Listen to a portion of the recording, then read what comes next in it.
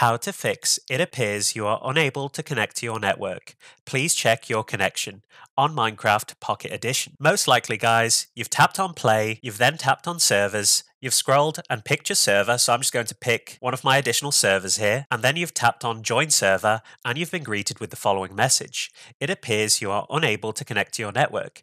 Please check your connection. So I'm just going to tap on OK here, and I'm going to tap on the X to be taken back to my Minecraft home screen. You're greeted with this message because you're playing Minecraft Pocket Edition using your mobile connection. Your network settings most likely disallow mobile data for online play. To fix this, tap on Settings. Scroll down until you see General. Tap on General. In General, at the very top, you should see Network Settings. You'll see the network setting Allow mobile data for online play. Use mobile data for multiplayer when Wi Fi is unavailable. This might incur additional data costs. As you can see guys, the toggle is currently turned off, which means mobile data for online play is disabled. So I'm going to allow mobile data for online play by tapping on this toggle. You'll then be greeted with the following window, which says allow mobile data for online play.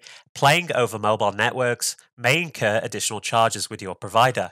You have the option to tap on OK or cancel. I'm going to tap on OK. And as you can see guys, allow mobile data for online play is now toggled on. So now you should be able to play Minecraft Pocket Edition servers using your mobile data. So all I'm going to do now, guys, is go back by tapping on the back button at the top left here, tapping on play, tapping on servers, picking my server, so mine is at the very bottom at additional servers, tapping on my server name, which is Websplaining, and then tapping on Join Server. Now, instead of being greeted with that message, we'll be taken into the Minecraft server that we just joined. And that pretty much concludes the video, guys. On how to fix it appears you are unable to connect to your network. Please check your connection on Minecraft Pocket Edition. If you enjoyed this video, be sure to give it a like, comment down below, and most importantly of all, subscribe to support the channel. I'll see you on the next video.